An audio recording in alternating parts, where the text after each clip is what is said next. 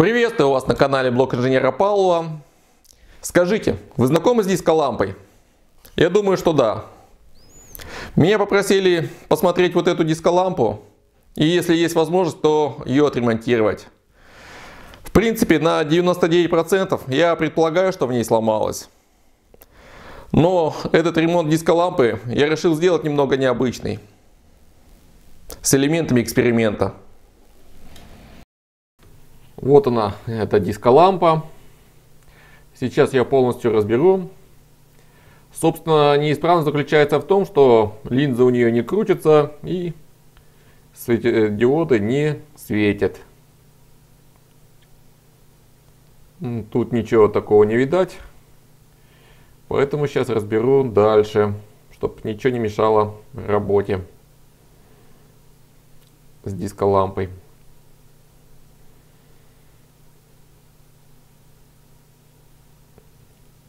Ага.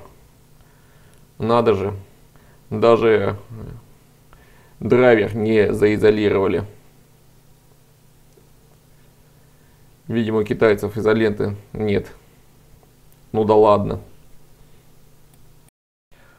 Отпаял я провода от LED-драйвера а, и также провода от э, моторчика, идущий к светодиоду, чтобы не мешал моторчик при разгонке светодиода. Итак, прозваниваю светодиоды. Зеленый живой светодиод. Так, красный светодиод тоже живой. Синий светодиод. А вот синий светодиод, по всей видимости, не живой придется его менять.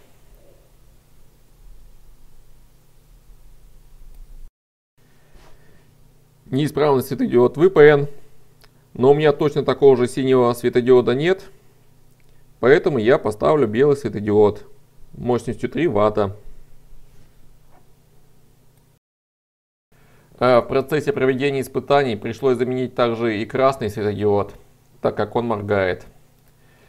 Теперь на плате два белых светодиода. Вот так они светят. Ну, а теперь, собственно, сам эксперимент. Заключается он в покраске светодиодов цветным цапон-лаком. Есть у меня цапон-лак желтый, зеленый и красный. И я попробую раскрасить ими светодиоды в нужный цвет.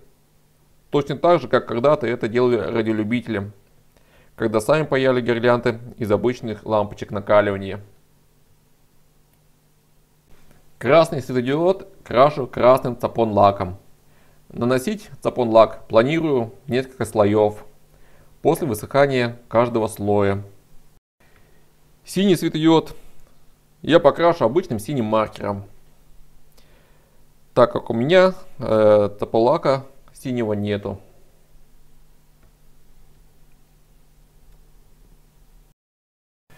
Проверяю работоспособность. Все исправно. Теперь лампу можно собирать. При сборке лампы я заизолировал LED-драйвер изолентой для электробезопасности. Вот, собственно, что получилось. Для сравнения, вот работа оригинальной диско-лампы. Как видно, огни у нее более четкие, чем у диско-лампы с крашенными светодиодами. Также я решил в зеленый светодиод немного помазать зеленым цапон-лаком, а то уж он сильно выделялся среди красного и синего. Синий цвет не получился. Получился серый цвет. Но у меня и не было синего цапон-лака. Какие можно сделать выводы по эксперименту с окраской светодиодов? Мое мнение, что оригинал светодиодов для ремонта дисколампы, конечно же, лучше. Но если нет нужных светодиодов, то можно и так. А по большому счету, дисколампа одноразовое изделие, и если сломалась, пошел и купил новую. Вот, в общем-то, и все. Ребят, всем спасибо за внимание. ходите в лес, на природу, дышите свежим воздухом. Ну, а мне, как всегда, ставьте лайки, подписывайтесь на канал. Всех благодарю за внимание. Всем пока. До новых встреч.